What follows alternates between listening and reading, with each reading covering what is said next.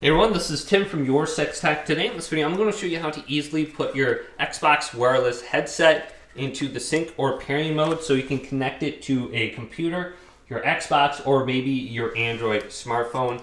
So I have my headset here. If we press this little green button on the back once, this is going to turn on or off the headset. So you can see I have it turned on. Now I just turned it off. So I'm going to press it once. The light's going to come on and then I should be able to connect it. So let's press it. I just turned it off. So it's on. Hold down this button now for at least four seconds and you'll notice the light is going to be blinking now. So let's hold this down. One, two, three, four, five, five seconds. Now it's in the Bluetooth pairing mode.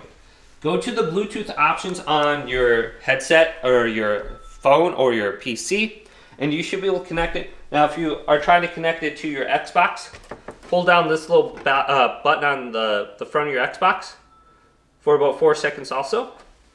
And then have this in the sync mode, and those two should be synced and paired now. So it's blinking, and now it's fully connected. So just press this button, put this headset into the Bluetooth pairing mode, and you should be good to go.